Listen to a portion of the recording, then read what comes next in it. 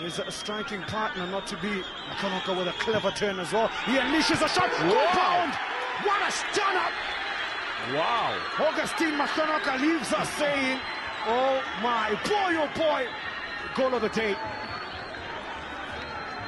But it dipped. I mean, it he hit it with so much venom. Ah. Wow. Wow. It takes like great, great technique to be able to get that one right. And a no chance for the goalkeeper. Goal of the year, goal of the month, goal of the week.